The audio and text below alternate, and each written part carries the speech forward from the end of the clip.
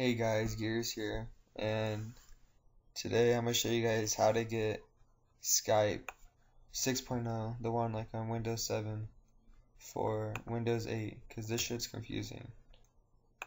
I already have it deleted, it was right there.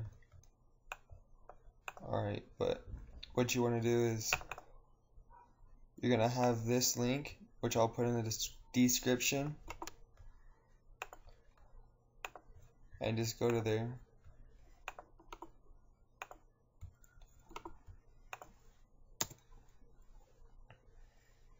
then you press download and then you will get this and you just go through it like whatever language you are I don't fucking know.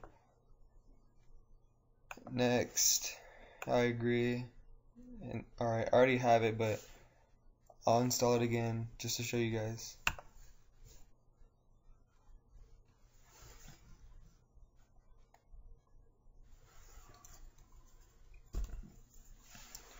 It'd only be like 20 seconds.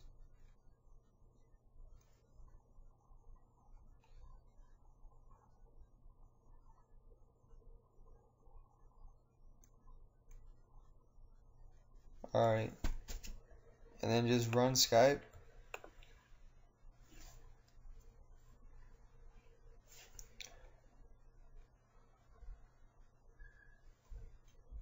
And then you have the bitch.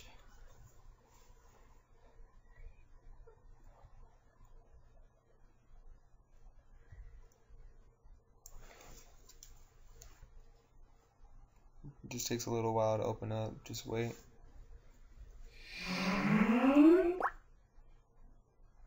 Oh my god, Skype. Oh my god, Skype. Oh my god.